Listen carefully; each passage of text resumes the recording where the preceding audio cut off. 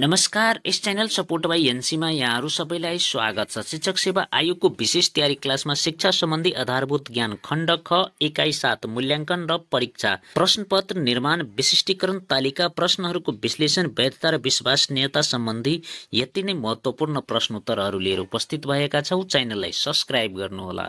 प्रश्न नम्बर एक विद्यालय स्तरीय र बाह्य सार्वजनिक परीक्षा सञ्चालन गर्दा तिन वा सोभन्दा बढी पाठ्य घण्टा भएका विषयको पूर्णाङ्क र समय कति कति हुने व्यवस्था गरिएको छ? क पूर्णाङ्क सय र समय तिन घन्टा ख पूर्णाङ्क सय र समय दुई घन्टा तिस मिनट ग पूर्णाङ्क पचास र समय एक घन्टा तिस मिनट घ पूर्णाङ्क पचहत्तर र समय दुई घन्टा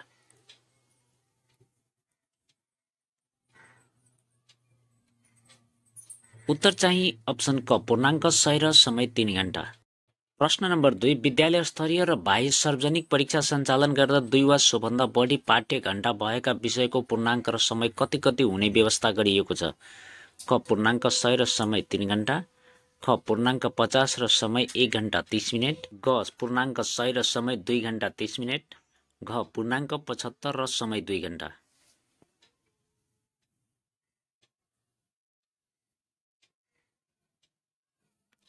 उत्तर चाहिँ अप्सन ख पूर्णाङ्क पचास र समय एक घन्टा तिस मिनट। प्रश्न नम्बर तिन स्थानीय पाठ्यक्रम प्रारूप कहिले स्वीकृत भएको हो?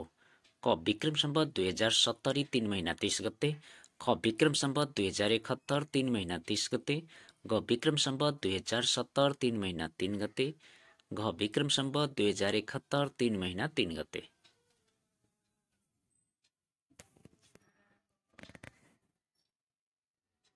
उत्तर चाहिँ अप्सन ख विक्रम सम्बत दुई हजार एकहत्तर तिन महिना तिस गते। प्रश्न नम्बर चार निरन्तर विद्यार्थी मूल्याङ्कनको आवश्यकता कुन कथनले जनाउँदछ? क सुधारात्मक शिक्षण गरी सिकारुहरूको उपलब्धि स्तर बढाउन? ख जान्ने विद्यार्थीलाई प्रोत्साहन र कमजोर विद्यार्थीलाई सहयोग गर्न? ग कक्षा छोड्ने र दोहोऱ्याउने दरमा कमी ल्याउने? घ माथिका सबै।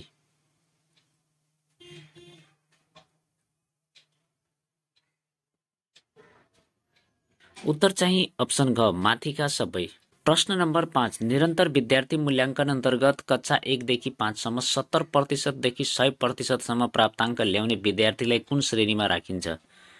क क श्रेणी ख ख श्रेणी ग ग श्रेणी घ घ श्रेणी।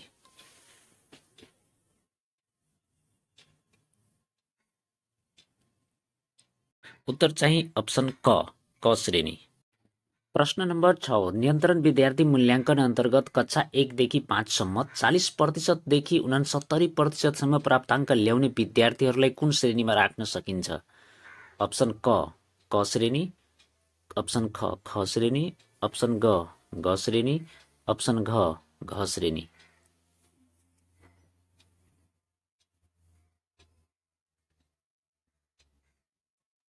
उत्तर चाहिँ अप्सन ख ख श्रेणी।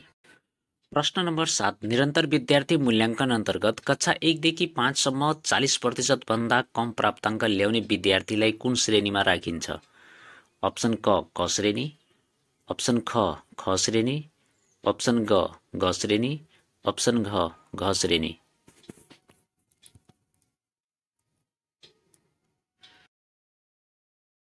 उत्तर चाहिँ अप्सन ग ग श्रेणी। प्रश्न नम्बर आठ निरन्तर विद्यार्थी मूल्याङ्कन अन्तर्गत कक्षा छदेखि सातसम्म अस्सी प्रतिशत र सोभन्दा बढी प्राप्ताङ्क ल्याउने विद्यार्थीलाई कुन श्रेणीमा राखिन्छ? अप्सन क क श्रेणी अप्सन ख ख श्रेणी अप्सन ग ग श्रेणी अप्सन घ घ श्रेणी।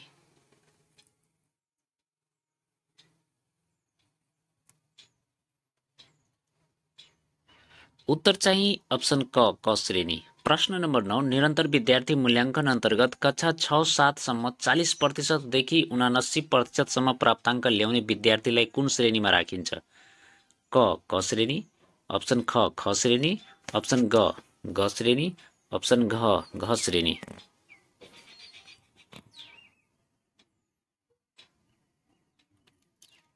उत्तर चाहिँ अप्सन ख ख श्रेणी।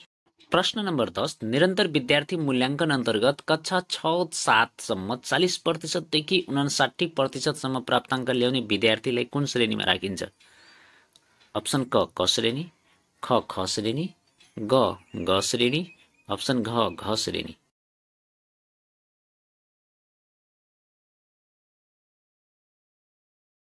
उत्तर चाहिँ अप्सन ग ग श्रेणी। प्रश्न नम्बर एघार आधारभूत तह कक्षा छदेखि आठको पाठ्यक्रम अनुसार निरन्तर विद्यार्थी मूल्याङ्कनको अभिलेख प्रक्रिया अनुसार क श्रेणी प्राप्त गरेको विद्यार्थीलाई कसरी व्याख्या गरिन्छ?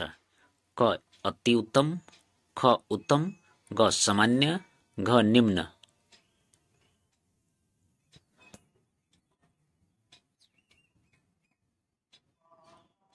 उत्तर चाहिँ अप्सन क अति उत्तम। प्रश्न नम्बर बाह्र आधारभूत तह कक्षा छदेखि आठको पाठ्यक्रम अनुसार निरन्तर विद्यार्थी मूल्याङ्कनको अभिलेख प्रक्रिया अनुसार ख श्रेणी प्राप्त गरेको विद्यार्थीलाई कसरी व्याख्या गरिन्छ? क अति उत्तम ख उत्तम ग सामान्य घ निम्न।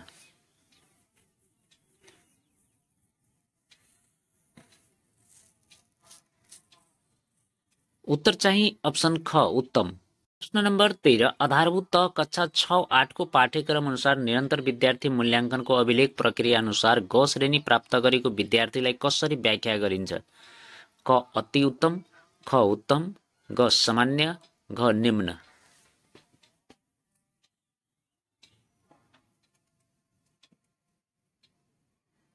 उत्तर चाहिँ अप्सन ग सामान्य। प्रश्न नम्बर चौध पूर्व निर्धारित मानकका आधारमा विद्यार्थीहरूको तह वा श्रेणी छुट्याउने प्रक्रिया के हो?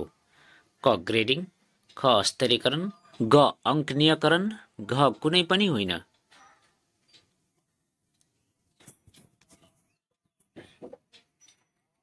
उत्तर चाहिँ अप्सन क ग्रेडिङ। प्रश्न नम्बर पन्ध्र मूल्याङ्कनका क्षेत्रमा लेटर ग्रेडिङ प्रणालीको सर्वप्रथम प्रयोग कसले गरेका हुन्? क मार्क एम ड्रम ख मार्क एम सिङ्गेल घ विलियम पेरिस घ अल्बर्ट सेचाई।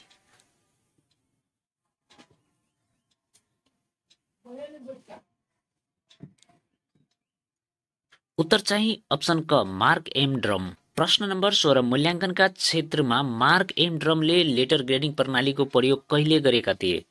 क सन् सत्र सय पचहत्तर ख सन् सत्र सय पचासी घ सन् अठार सय पचहत्तर घ सन् अठार सय पचासी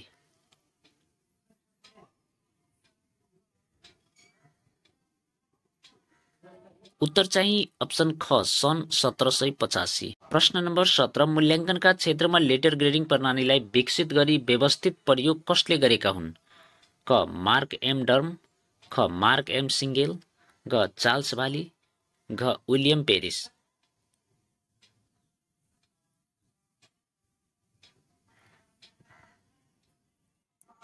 उत्तर चाहिँ अप्सन घ विलियम पेरिस। प्रश्न नम्बर अठार मूल्याङ्कनका क्षेत्रमा लेटर ग्रेडिङ प्रणालीलाई विकसित गरी व्यवस्थित प्रयोग कहिले गरिएको थियो? क सन् सत्र सय बयासी ख सन् सत्र सय बयान्नब्बे ग सन् अठार सय बयासी घ सन् अठार सय बयान्नब्बे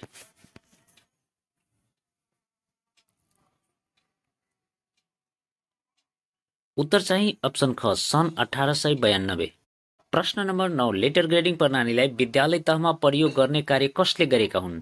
क मार्क एम ड्रम ख मार्क एम सिङ्गेल घ विलियम पेरिस घ एलपी इबर्जन।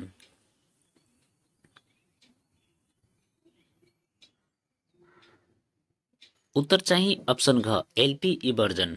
प्रश्न नम्बर बिस नेपालमा विद्यालय तहमा लेटर ग्रेडिङ प्रणालीको प्रयोग गर्नुपर्दछ भनी सिफारिस गर्ने प्रतिवेदन कुन हो?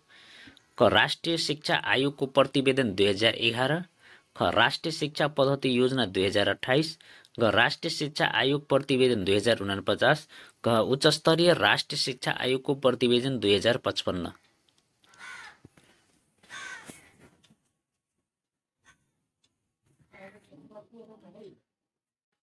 उत्तर चाहिँ अप्सन घ उच्च स्तरीय राष्ट्रिय शिक्षा आयोगको प्रतिवेदन दुई हजार पचपन्न। प्रश्न नम्बर एक्काइस। राष्ट्रिय पाठ्यक्रम विकास तथा मूल्याङ्कन परिषदले लेटर ग्रेडिङ प्रणालीका बारेमा सैद्धान्तिक निर्णय कहिले गरेको थियो? क विक्रम सम्बत दुई हजार एकहत्तर तिन महिना तिस गते। ख विक्रम सम्बत दुई हजार एकहत्तर एक महिना तिस गते। ग विक्रम सम्बत दुई हजार एकहत्तर आठ महिना चौबिस गते। घ विक्रम सम्बत दुई हजार बहत्तर एक महिना चौबिस गते।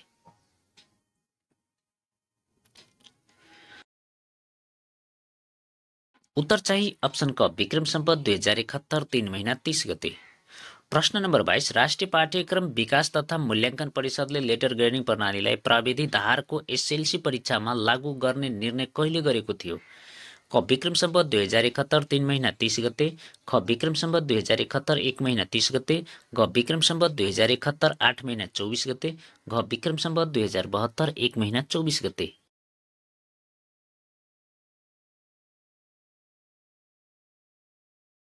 उत्तर चाहिँ अप्सन ग विक्रम सम्बत दुई हजार एकहत्तर आठ महिना चौबिस गते।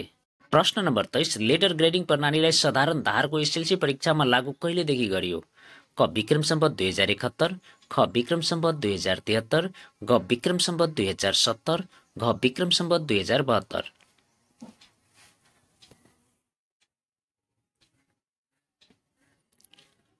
उत्तर चाहिँ अप्सन घ विक्रम सम्बत दुई हजार बहत्तर। प्रश्न नम्बर चौबिस सर्वप्रथम प्राविधिक धारका कतिवटा विद्यालयमा लिटर ग्रेडिङ प्रणालीलाई लागू गरिएको थियो? क अठासीवटा ख उनान्सयवटा घ एक सय दसवटा घ एक सय उन्नाइसवटा।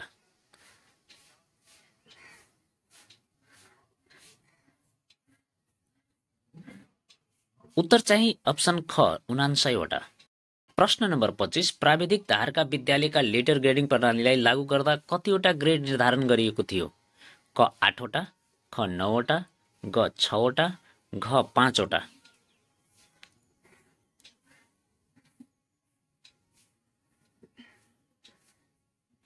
उत्तर चाहिँ अप्सन ग छवटा।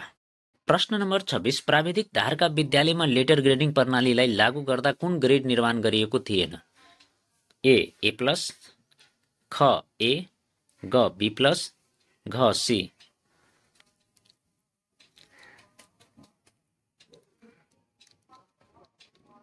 उत्तर चाहिँ अप्सन ग बी प्लस प्रश्न नम्बर सत्ताइस विद्यालय शिक्षामा अक्षराङ्क पद्धति कार्यान्वयन कार्यविधि दुई हजार बहत्तरलाई स्वीकृत गर्ने निकाय कुन हो? क राष्ट्रिय पाठ्यक्रम विकास तथा मूल्याङ्कन परिषद। ख शिक्षा विज्ञान तथा प्रविधि मन्त्रालय। ग राष्ट्रिय पाठ्यक्रम मूल्याङ्कन परिषद। घ पाठ्यक्रम विकास केन्द्र।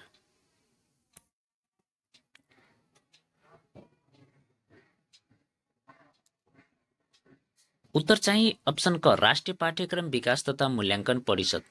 प्रश्न नम्बर अठाइस विद्यालय शिक्षामा आरक्षण पद्धति कार्यान्वयन कार्यविधि कहिले स्वीकृत गरिएको हो? क विक्रम सम्बत दुई हजार एकहत्तर तिन महिना तिस गते। ख विक्रम सम्बत दुई हजार बहत्तर तिन महिना तिस गते। ग विक्रम सम्बत दुई हजार बहत्तर आठ महिना चौबिस गते। घ विक्रम सम्बत दुई हजार बहत्तर आठ महिना तेइस गते।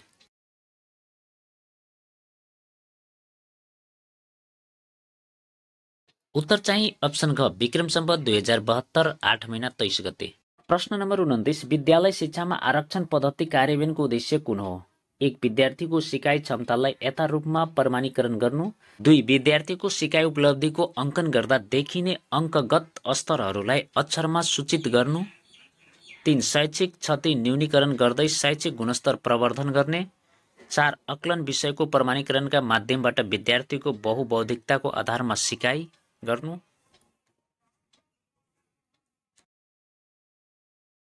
उत्तर चाहिँ माथिका सबै। प्रश्न नम्बर तिस विद्यालय शिक्षामा अक्षराङ्क पद्धति कार्यान्वयन कार्यविधि दुई हजार बहत्तर अनुसार निर्णयात्मक मूल्याङ्कनका लागि लिने परीक्षा सहभागी हुनका लागि विद्यालय खुलेको वा पठन पाठन भएको कुन दिनको कति प्रतिशत हाजिर पुरा गरेको हुनुपर्दछ? क सत्तरी प्रतिशत ख पचहत्तर प्रतिशत ग अस्सी प्रतिशत घ पचासी प्रतिशत।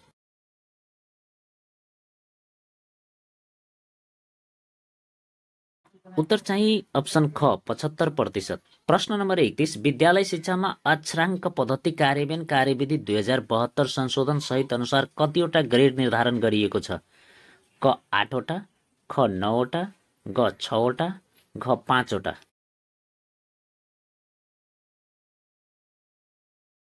उत्तर चाहिँ अप्सन ख नौवटा।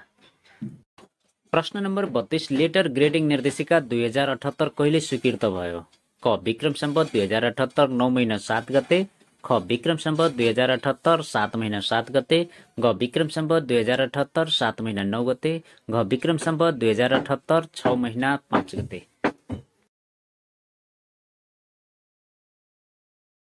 उत्तर चाहिँ अप्सन क विक्रम सम्बत दुई हजार अठहत्तर नौ महिना सात गते